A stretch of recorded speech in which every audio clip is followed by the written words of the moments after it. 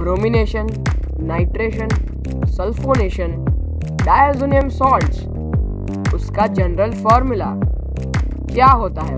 उसकी methods of preparation diazonium salts कैसे बनते हैं? ये सब कुछ जानने के लिए देखते रहिए पूरा का पूरा video. Hello everybody welcome back to the channel मैं हर्षल, आप देख रहे हैं craving engineers let's crave now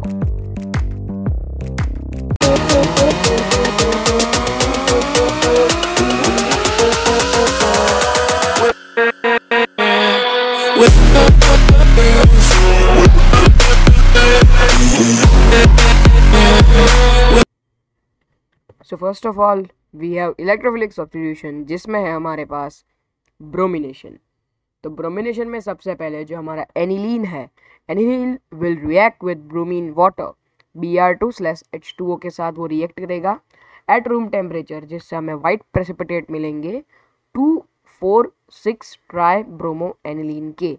और three times H B R hydrogen bromide वो सेपरेट हो जाएगा. तो उसका एक बार हम रिएक्शन देख लेते हैं.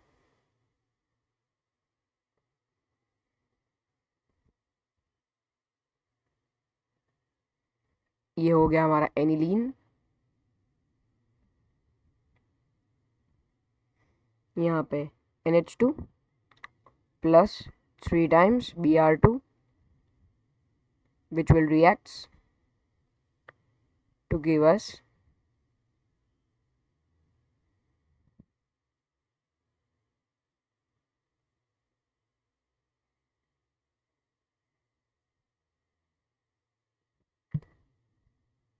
यहाँ पे तो NH2 होगा ही। बट यहाँ पे एक बार हम ये थोड़ा सा एरो छोटा कर देते हैं। Because we need space two four and here is 6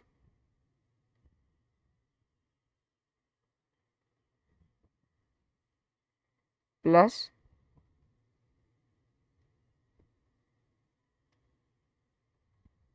plus 3 times HBr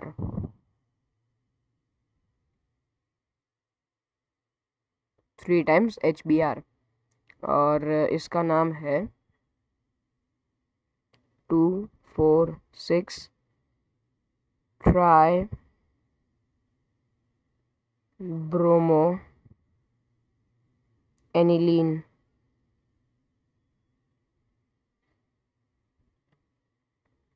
okay और ये three times hydrogen bromide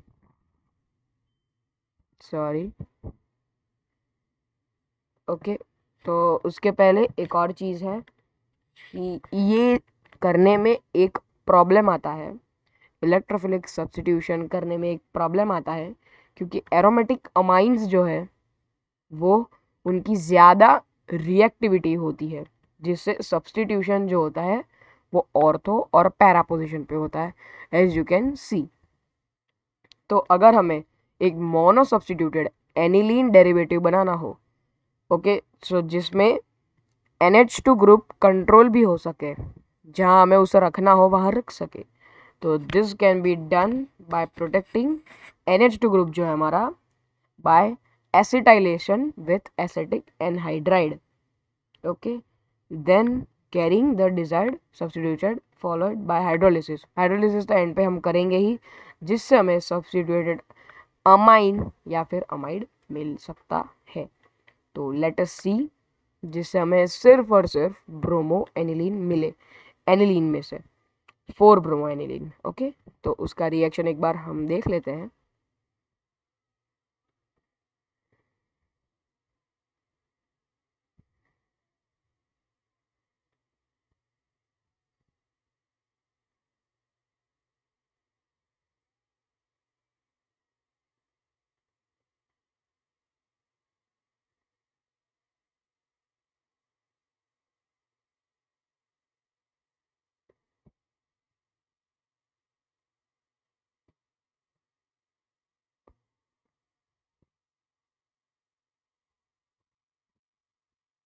done तो यहाँ पे एरोज आ जाएँगे। एंड यहाँ पे फाइनल एरो डन तो सबसे पहले हमारे पास है एनिलीन एंड ये रिएक्ट करेगा with C H three C O four two times O जो कि पिरीडीन के साथ भी रिएक्ट करेगा। Next it will react with B R two C H three C double O H और यहाँ पे है N C C H three पे ओ करना है पर कैसे करें? Okay C double bond O dash C H three dash H okay and it will again react C C H three यहाँ पे फिर से डबल बॉन्ड ओ यहाँ पे H done and this will again hydrolysis होगा H plus या फिर ओ OH minus के साथ टू गिव अस NH2 यहाँ पे B R four bromo aniline done तो हमारा ये रिएक्शन भी कंप्लीट हो गया. So now we are moving to the nitration. Okay. तो नाइट्रेशन में हम डायरेक्ट नाइट्रेशन करेंगे एनिलीन का, जिससे हमें ऑर्थो, पैरा और मेटा चारों तीनों के तीनों पोजीशंस पे मिलने वाला है। तो चलिए अब इसके रिएक्शंस देख लेते हैं।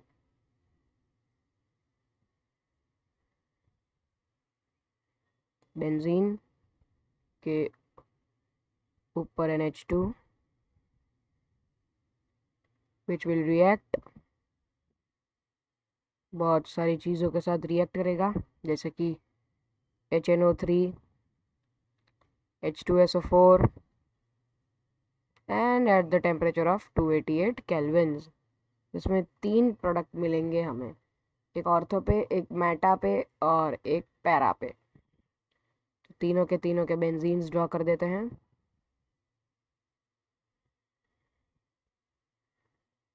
One two, and the last.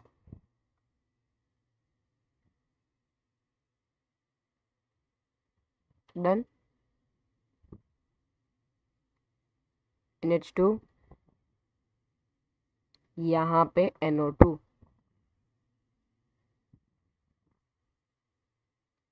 NH2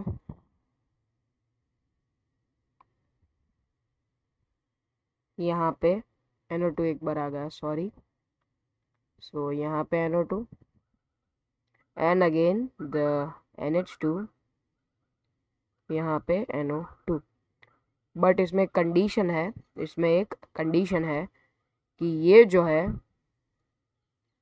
वो है फिफ्टी वन परसेंट ये है ओके okay, ये है फोर्टी सेवन परसेंट एंड ये बेचारा टू परसेंट ओके तो एन एच टू ग्रुप को प्रोटेक्ट करेंगे by acetyl acetylation with acetic anhydride तो जिससे हमें पैरा पे नाइट्रो डेरिवेटिव मिल सके एज अ मेजर प्रोडक्ट तो इसका भी एक एक्स्ट्रा रिएक्शन है, जो हम देख लेते हैं। सबसे पहले हमारे पास है benzene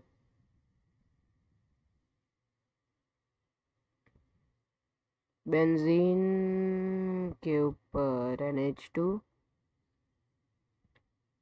which will react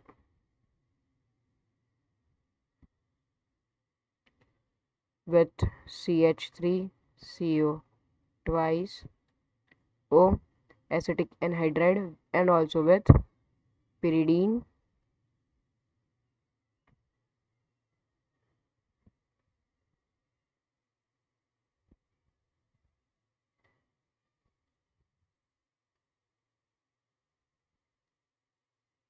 hmm. to give us NHOCH3 NHCOCH3 sorry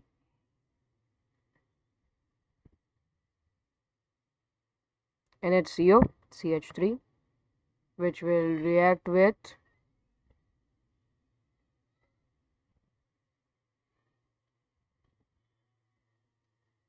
HNO3 H2SO4 288 kelvins to give us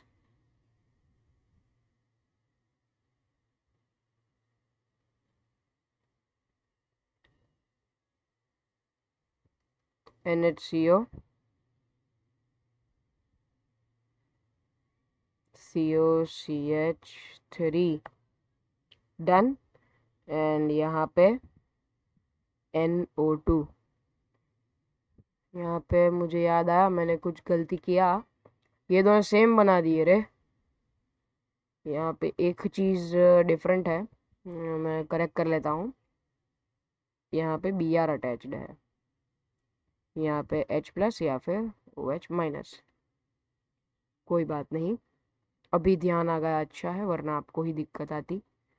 क्योंकि आप शायद इसमें से प्रिपेयर करो और आपको समझ में ना आए तो आप what to do hydrolysis to give us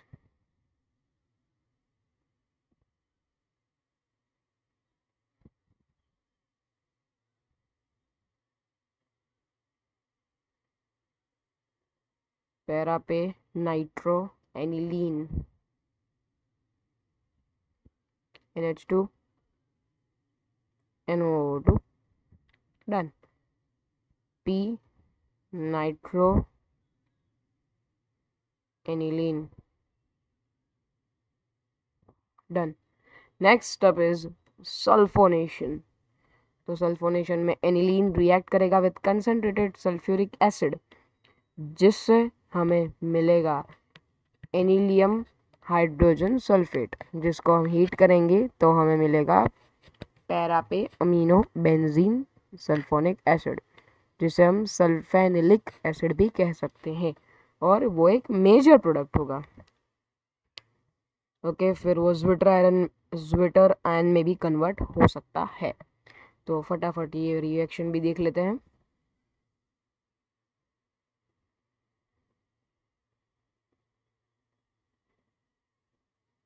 benzene के ऊपर NH2 which will react with H2SO4 mm, to give us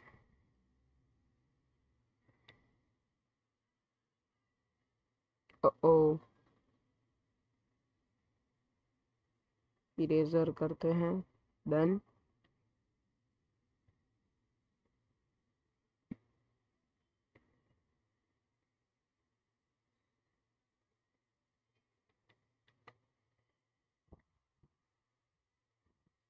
NH3 HSO4 minus and final product उसको हम हीट करेंगे तो हमें मिलेगा फोर फाइव थ्री से फोर सेवन थ्री भी तो हमें मिलेगा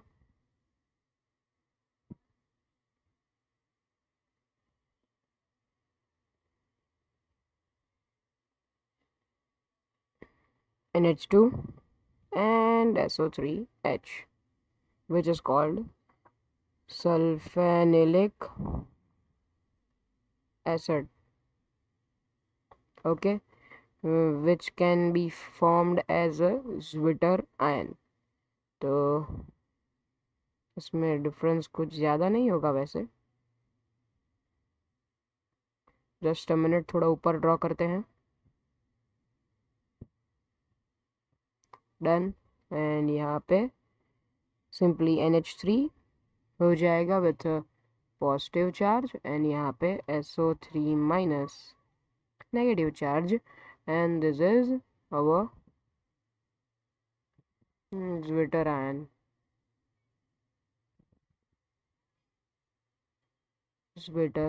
zwitterion so इसका भी एक एक्स्ट्रा केस नहीं है। So now we are talking about diazonium salts तो डायोजोनियम सॉल्ट्स क्या होते हैं? तो बेसिकली उसका एक जो जनरल फॉर्मूला है, वो है R N two plus just a minute, r n2 plus x minus. Here x equals to cl minus br minus HSO4 minus BF4 minus and etcetera okay जिनमें हम सफिक्स ऐड करेंगे diazonium to the name of the parent hydrocarbon जिससे हमें name मिलेगा, जैसे कि diazonium group का name मिलेगा, जैसे कि हमारे पास है C six H five N two plus C L minus इसका नाम है बेंजीन डायजोनियम क्लोराइड। फिर ये है C six H five N two plus H H S O four minus H S O four minus इसका नाम है benzene diazonium hydrogen sulphate. So वैसे हो सकता है। तो जो प्राइमरी एलिफेटिक अमाइंस जो है प्राइमरी एलिफेटिक अमाइंस जो है वो हाईली अनस्टेबल होते हैं एल्काइल डायजोनियम सॉल्ट्स के मुकाबले।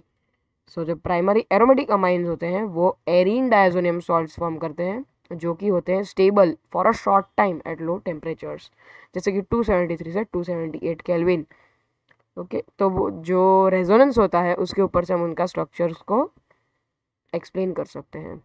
And here we come to the methods of preparation तो diazonium benzene diazonium chloride prepare किया जाएगा on the reaction with aniline 273 से 278 केल्विन टेम्परेचर जो नाइट्रस एसिड होगा वो प्रोड्यूस्ड होगा रिएक्शन मिक्सचर के अंदर. सो so, जिससे sodium nitric with hydrogen hydrochloric acid के साथ. तो जो कन्वर्जन होगा प्राइमरी एलोमेटिक अमाइन का इंटू डायजोनियम सॉल्ट्स उसे हम कहेंगे di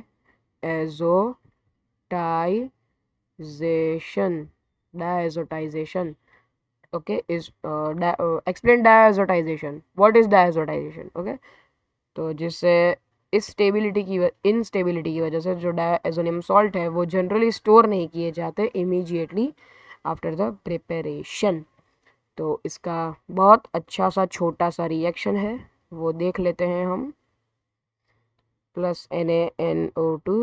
Two H C L done and uh, it will react.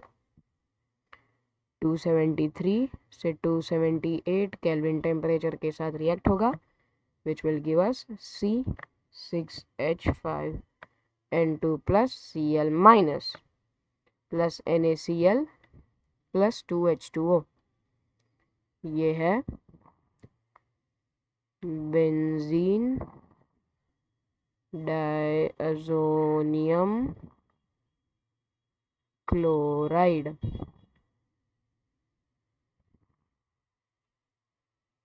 इसकी बात हो रही है।